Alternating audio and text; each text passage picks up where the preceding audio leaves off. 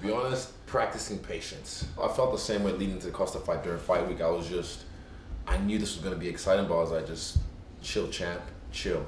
So it feels like a new fight to me. I know I've already beat him, but I don't. Similar to what I said to him in the in the first fight. After the first round, he was looking at the screen to see what happened, and I, I called him. I was like, "Hey, don't worry about that. That's in the past. Focus on me now." I feel the same way. Like what happened is in the past. He is a different fighter now, but guess what? So am I. Even though you have a win over him, Anderson Silva still has that special place among MMA people. Do you feel like you have a chance to overtake him as the MMA GOAT? And if so, what is it that you have to accomplish to get there? Fighting is, is an art form, it's expression, and art is very subjective. It's public knowledge. I've been inspired by Anderson Silva since my start in this career. I just keep doing me, and the numbers chase me. Izzy, always fun to talk to you. Wish you the best on Saturday, my friend. Easy, thank you, my man.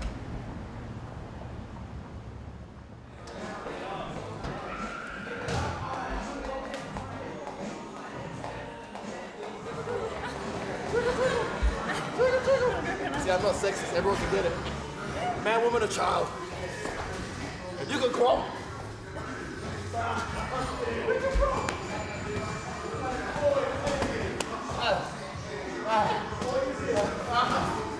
Uh, me and a couple of coaches just got in yesterday, so um, yeah, the boys have been uh, well looked after by the by the rest of the coaches and the team. So we're just picking up where they left off.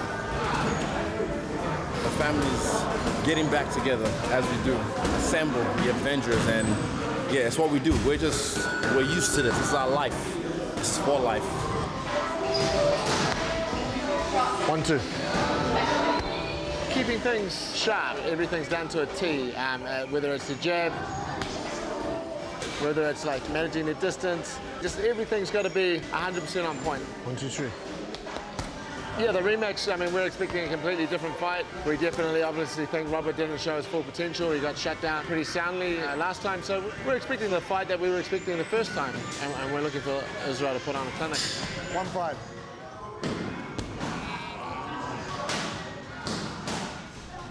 Yes. Where do you want to go? Where do you want to go? It's evil, I tell you. And I'm on my own business here. Holy business, mate. Be right back, Dad. Holy business. He's Zoom. And the Crusades. Yeah. Mm-hmm. Oh!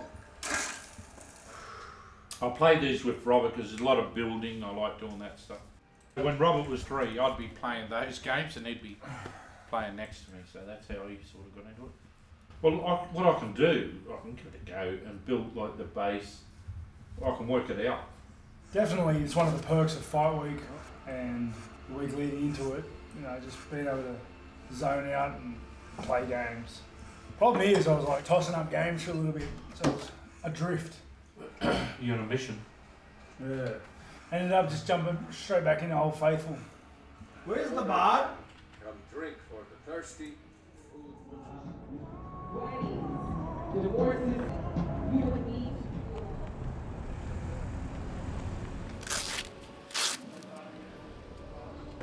So I'm here with Big Bam, Tai Tuivasa. You've now won four in a row. You must feel like Superman going in there today now, knowing that you possess the skills that you have. Yeah, I feel a lot more confident and and comfortable now, for sure. I was, I think I was just rushing a bit back then. Well, like I said, I was learning on the job. Yeah. And uh, it made me realize, like, this is why I'm losing. This is why I'm not, I'm not giving this my all. And since then, I've been giving it my all. Not when look that good. You is? I tried. You All good? brother, you good? Yeah, yeah, How you feeling? Is what it is. Enjoy the journey. Okay, uh, you could take a little step forward for me. I remember the emotion I carried into the fights with Jones. It seemed like you had that in fight number one with Adesanya. Yeah, definitely. And uh, it upset me that this that this guy was like, you know, everyone was talking about him and underselling me and and, Yeah. and just I don't know. It, it was it was a weird dynamic. It did make it personal because it was personal. Yeah. Um, but I don't know, that was then.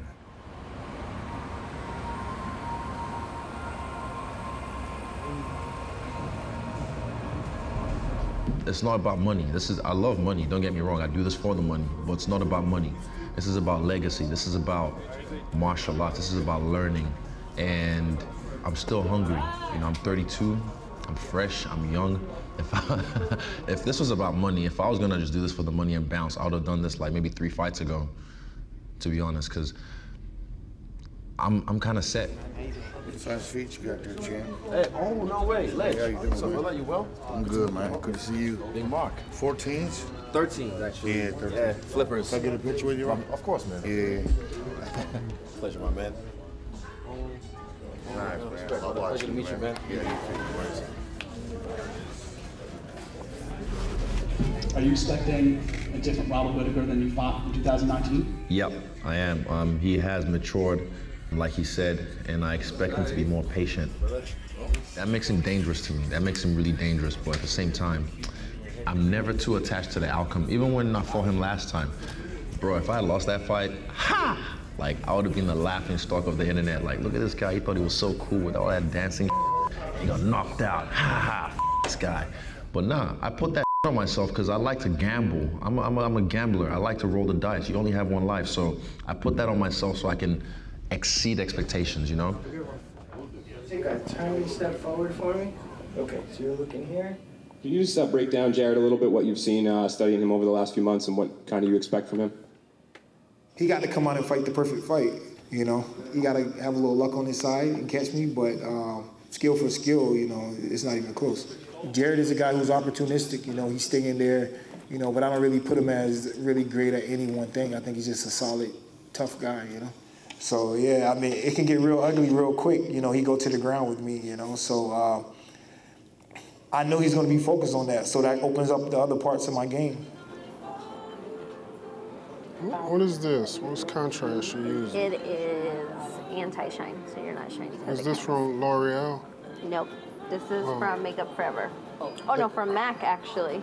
Oh, their new collection? Mhm. Oh, great. What's your favorite? Uh, I L'Oreal. I don't- you might have someone endorse you here soon, huh? oh, you never know. Hey, you never you know. don't. All right, babe, you are all set. Do you need chapstick or are you good? No, I came prepared. you got it. Thank you. All right. You said that, you know, the last time you fought in Houston, the pressure got to you. Is there anything you specifically have to do to avoid that happening again, or is it just try and put it out of your mind? It's the reason why the pressure was so tough that fight right there because it was the same day, exact day that I got out of prison, the same exact day. So it's like I put a lot of pressure on myself, and it was just like a crazy, crazy thing that I wanted for my legacy or whatever. Being all the way at the bottom of my life, then being the champion of the world, it just meant a lot, you know.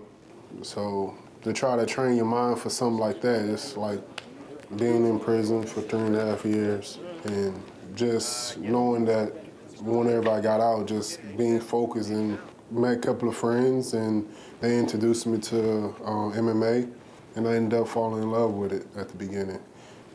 And here I am now. Now I hate it. So. Yo, man, you got me. I'm feeling it. I still feel it. I'm feeling it. Oh, like, I feel it. Yo.